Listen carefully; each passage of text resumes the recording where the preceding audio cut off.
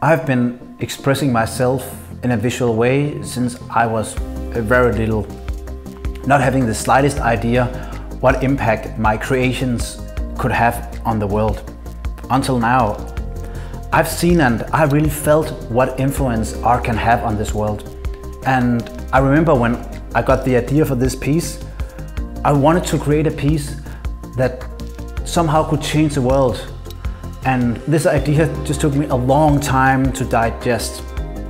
It's probably the most important piece of my career, not only because it's the most comprehensive, but also because I want this piece to help change the world.